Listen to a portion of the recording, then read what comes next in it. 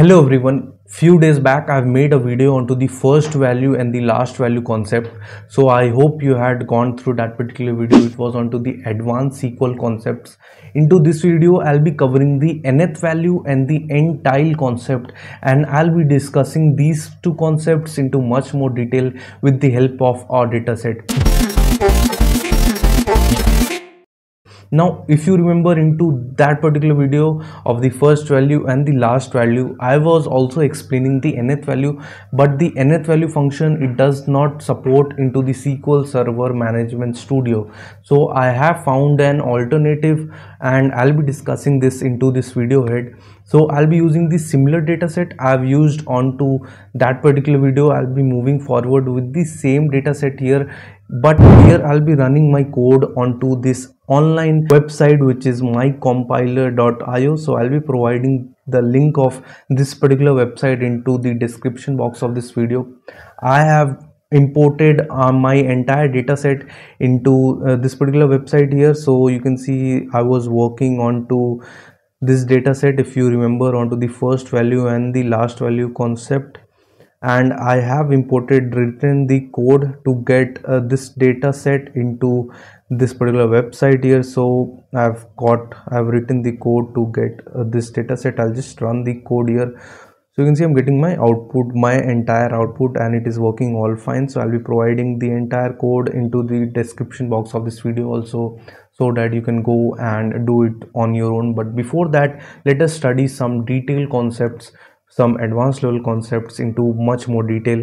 So if you remember what was this data set all about so you can see i'll just move to my excel sheet. The column b i have the state name into the column c i have the date and into the column d i have the sales. Now what does this data set is all about? So let's say there was a book fair which took place into all these three states which are mentioned into this data set that is bihar jharkhand and maharashtra. And this particular book sale book fair was from 1306 to 2206 so between these dates the book fair was taken place and into the column d you can see the total number of books which were sold. I wanted to get to know like what is the total number of books which were sold on to the very first day what was the total number of books which were sold on to the last day. So we have seen into my previous video. Into this video i'll be seeing the how many books or how many number of books which were sold into the nth day.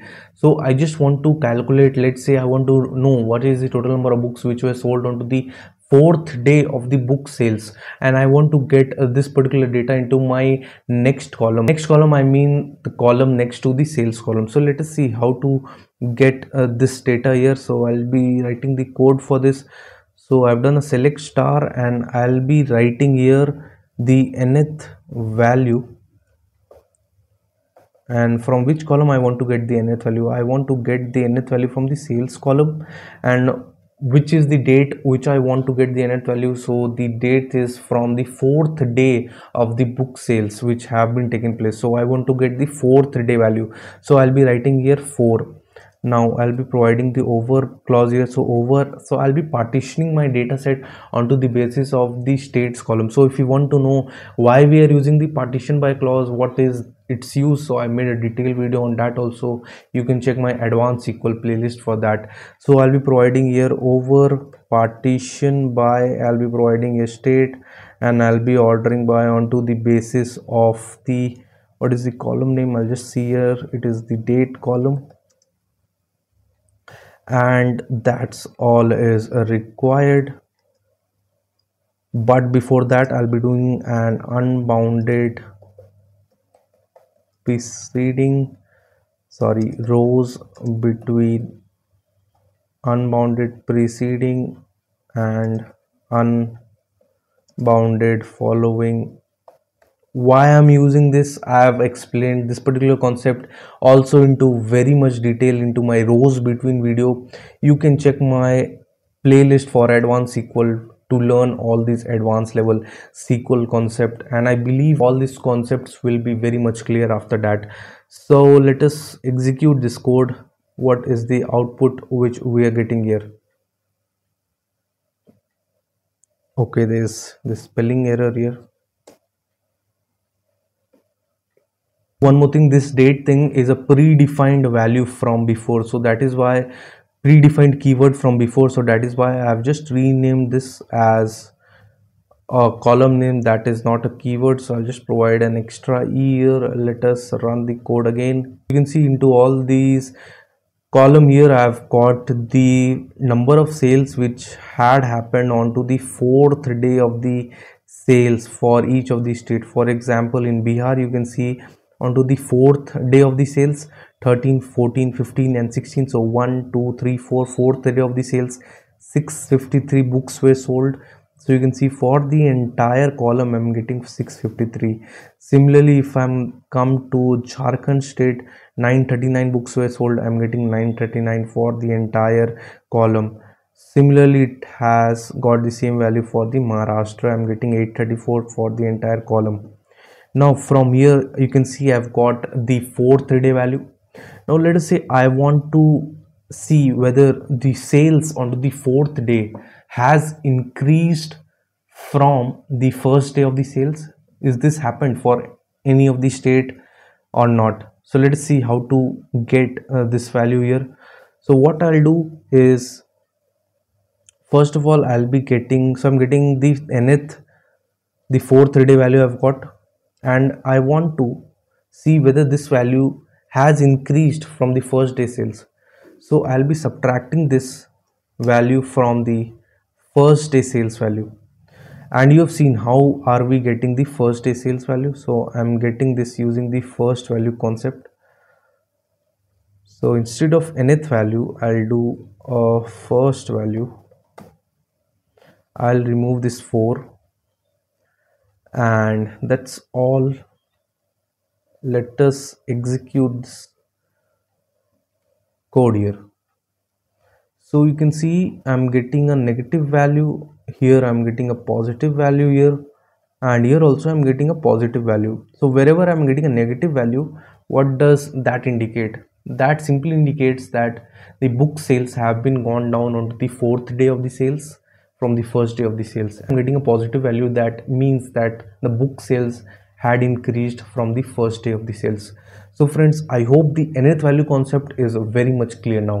Let us move forward to the second concept and that is the NTILE concept. Now what does this NTILE concept simply means? Let us say i want to divide my entire data set into certain groups and these groups are onto basis of the number of rows which are present into my data set. Let us say i have 12 rows in my data set and i want to divide all these 12 rows into group of 3 so number of groups which i'll be getting will be 4 because 12 divided by 3 is 4 so the number of groups which i've got is 4 so from this particular group which i'm getting all these groups which we are getting will be getting using the NTILE concept.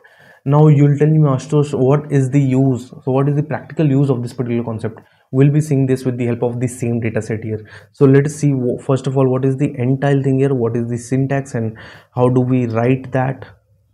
So before that we'll be seeing number of days in which the book fair has been taking place.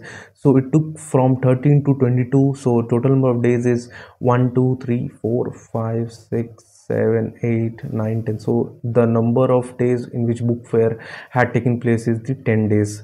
Let us see how to use the NTILE concept into this same concept only because earlier i've told like the NTILE is worked on the total number of rows which are present. So here we'll be partitioning we'll be not be taking our entire data set as a whole rather we'll be partitioning our data set onto the basis of the state column similarly which we have done here. So let us see how what is the syntax for NTILE of all i'll just write here a select. I'll get the entire rows. Here I'll be writing the NTILE. And into this bracket I'll be writing the number of rows number of groups which I want to divide my data set so I want to divide each of my partitions. Let's say I'm creating partition onto the basis of the state column. So for Bihar one partition will be created. For Jharkhand another partition will be created. Similarly for Maharashtra another partition will be created. But within this partition I want to divide all these partitions into certain groups. So we'll be using the NTILE so how many groups i want to divide this partition? So i want to divide this partition into two three groups. Let's say i'll be just writing here three after this i'll be providing the over and over partition i'll be writing because i want to first of all partition my data set onto the basis of the state column.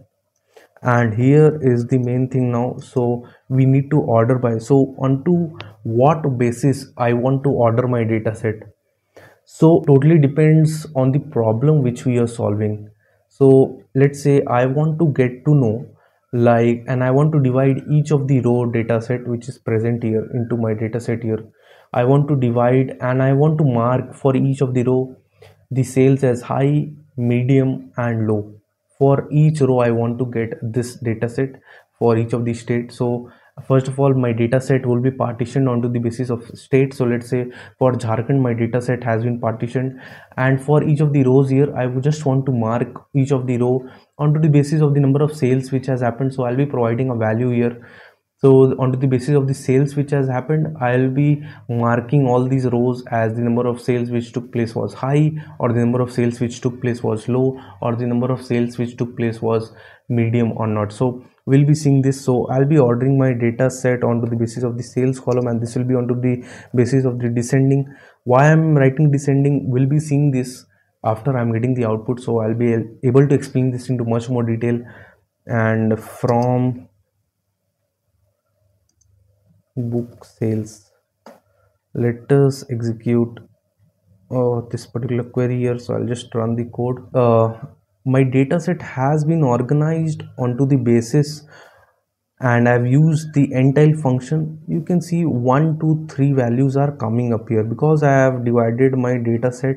First of all I've partitioned my data set and then onto the partitions I've divided the data set onto the three groups.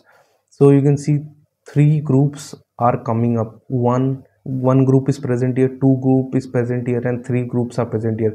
So all these are grouped on the basis of the NTILE functions which we have given here now let us see why we are doing this. So this is the same thing which i am i was telling about. So you can see i've ordered my data set onto the basis of the sales and also onto the descending order. So wherever the sales is high the row has been marked as one. Similarly the sales wherever it is higher the row has been marked as one. So one means the sales were high two means the sales were medium and three means the sales were the lowest onto all the states so instead of 1 2 and 3 i want to make this into much more clear. So i want to replace 1 with high 2 with medium sales and 3 with low sales. So let us see how to do this. So i'll just be providing this into a subquery. Also I'll be renaming this column as n. So I'll do a select. I'll do a star. Case when let us say I'll just rename this query as a. A dot n is equal to 1 then I'll be marking this as high sales as you can see from my data set. When a dot n is equal to 2 then it will be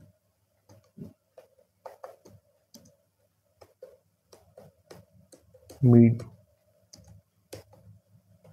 medium sales and similarly else this will be low sales and as sales value. And from this data set I want bring this to the next row.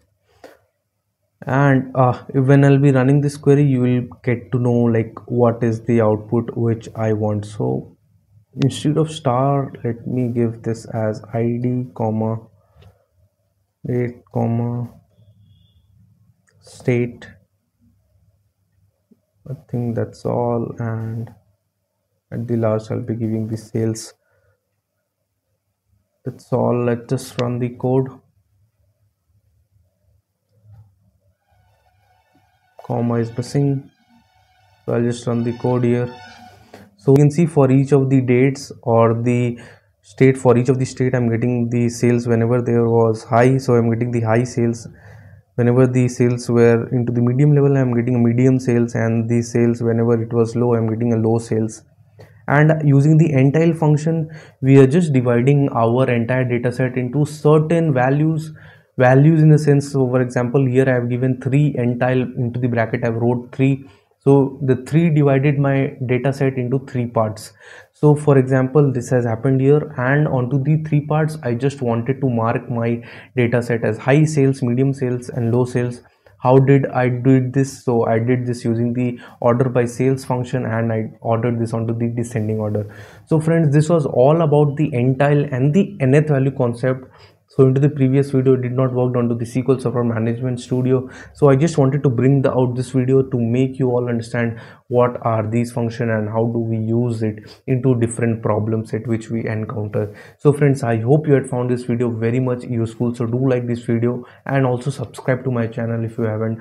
I will be bringing into much more detailed concept into the advanced sql that can help you to grab your internship or full-time roles opportunity into the analytics or the data science field. So meet you in the next video. Thank you so much. Bye